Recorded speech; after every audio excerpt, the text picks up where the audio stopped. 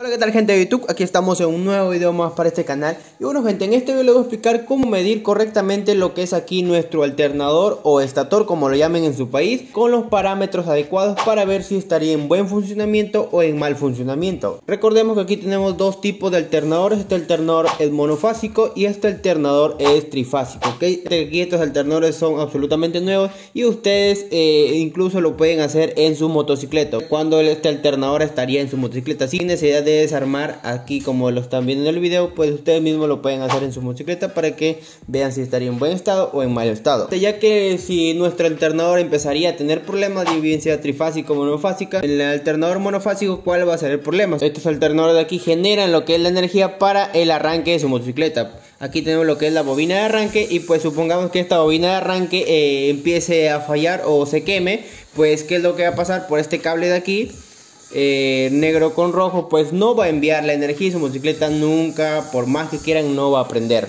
Otra falla también es que demora en prender, ¿por qué? Porque simplemente envía lo que es una baja energía, baja energía para que se produzca una chispa y se produce una chispa débil y pues la motocicleta va a ser muy difícil arrancar en la mañana. Otro de los problemas es aquí estos dos cables, eh, mayormente se malogra lo que es aquí la bobina de arranque, la bobina de encendido como lo quieran llamar, y pues aquí también tendremos lo que son estos dos cables, que es el amarillo y el rosado, en otras motos puede ser blanco. Pues esto de aquí se llegan a malograr, pues su batería no va a ser cargada, ¿ok? La motocicleta no va a cargar lo que es la batería, pero aún así la motocicleta puede prender, pero la batería no va a cargar o incluso llega, a botar mucho voltaje, pues también puede quemar lo que son sus luces, ¿ok?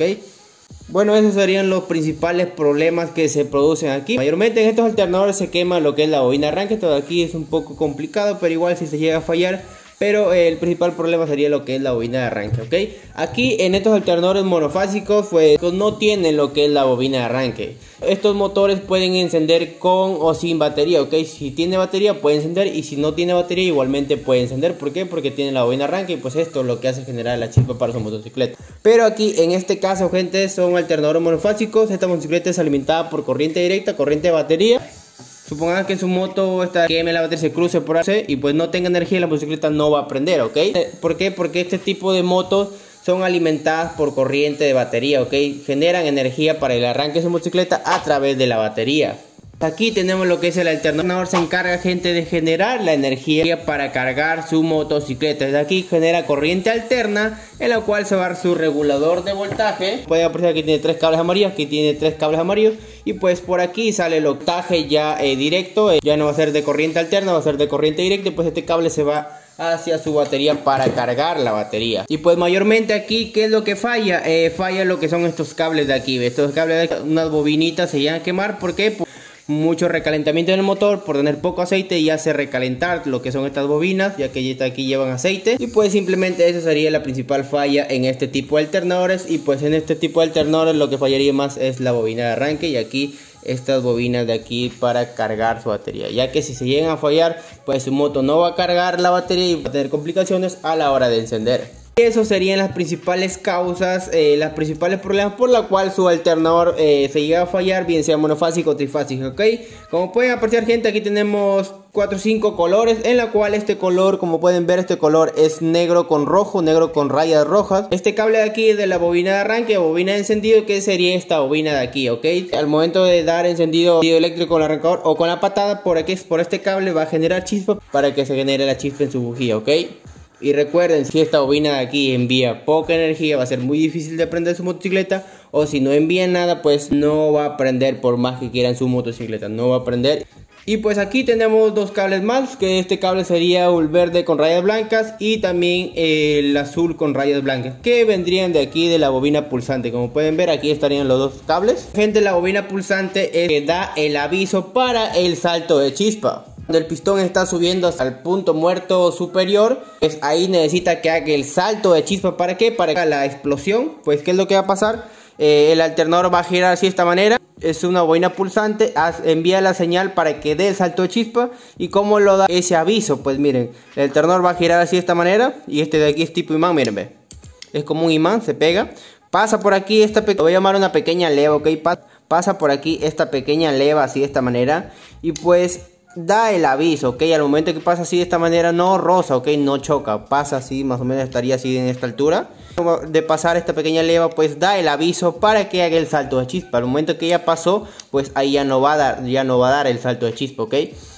Pasa así de esta manera y da el aviso para el salto de chispa y haga la explosión en su cámara de combustión. Esto de aquí trabajaría igual y trabajan igual, también tienen su pequeña leva, igualito del mismo funcionamiento es en el alternador monofásico y en el trifásico, es el mismo funcionamiento. Último gente tendríamos estos dos cables, que estos dos cables serían de, estas pequeñas bobinas de aquí, en la cual se, se encargan de generar corriente alterna. Esta corriente alterna va directamente lo que es hacia nuestro regulador de voltaje, aquí están en los dos mismos cables y pues este regulador de voltaje se encarga de rectificar lo que es la corriente alterna hacia corriente directa y pues por este cable saldría lo que es la corriente directa que va directamente a su batería para cargar su batería ok y pues gente así eh, así trabajarían todos estos cables. Y pues lo que es aquí en el monofásico igualmente esto de aquí estos tres cables amarillos simplemente generan corriente alterna que igualmente van hacia, su rectificador, igual sale por aquí en corriente directa. Estas bobinas de aquí solamente generan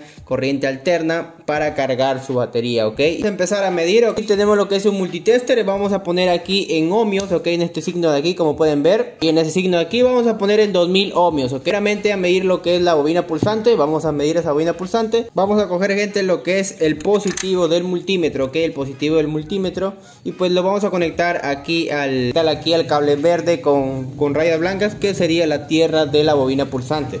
Vamos a conectar así de esta manera. Y el negativo del multímetro lo conectamos aquí al cable azul con blanco. Lo conectamos así de esta manera.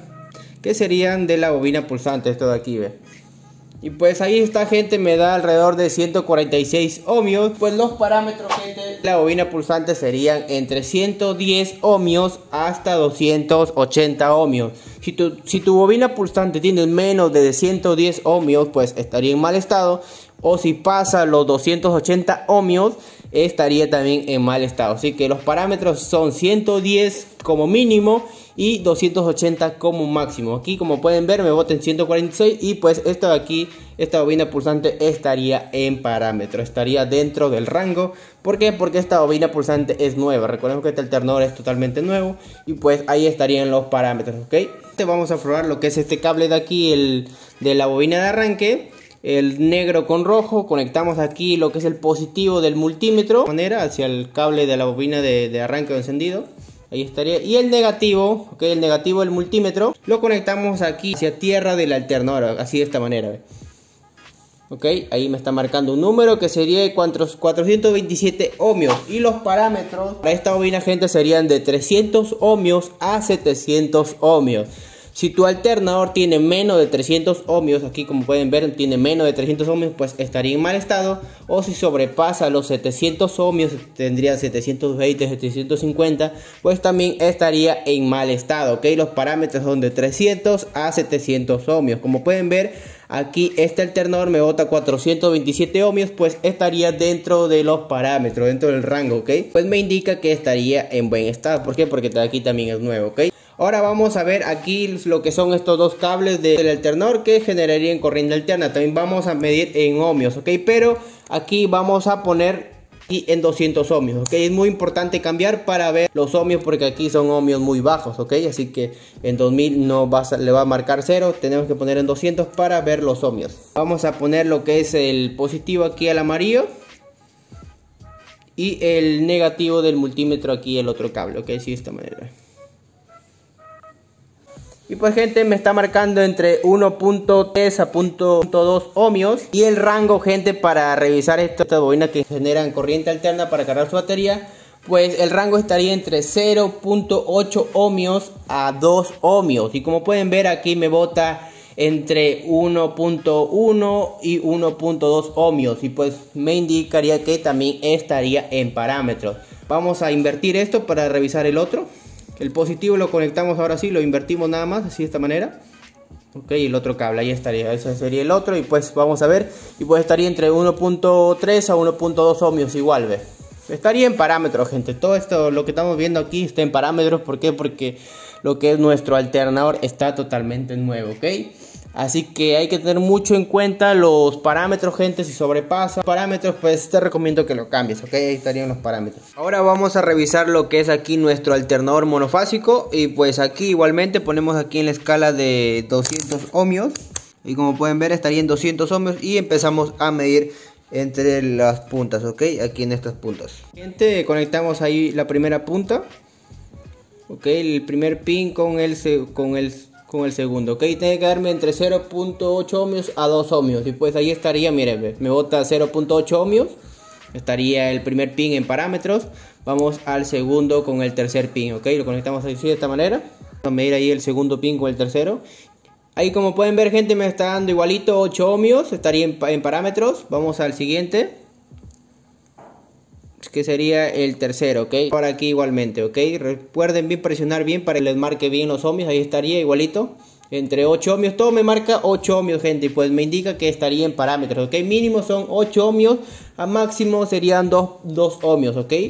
Y pues vamos ahora sí a poner nuevamente aquí en continuidad, vamos a hacer el mismo procedimiento y vamos a ver si es que aquí estos cables amarillos entre ellos tienen continuidad, tenga que haber continuidad, ok, tengan que marcar algún número y luego bajar o lo contrario eh, pitar lo que es el multímetro, ¿ok?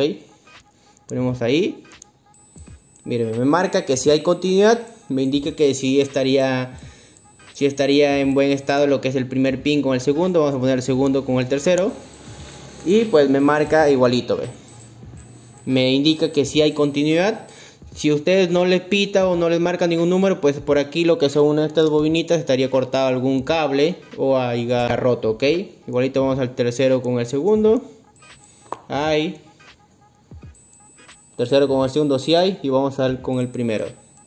Igualito me indica que si hay continuidad entre los pines 1, 2 y 2 y 3.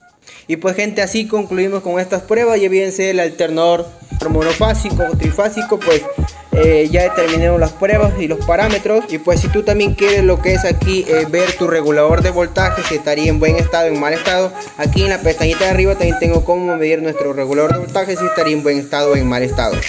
Gente compartan el video no se olviden dejar un buen like suscribirse aquí al canal y nos vemos en otro próximo video